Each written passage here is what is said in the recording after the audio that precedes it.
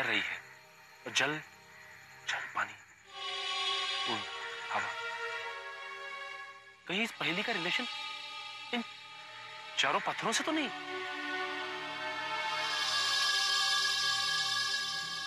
ये पहेली, लेकिन हवा, पानी, जल, आकाश, ये तो चार ही एलिमेंट हुए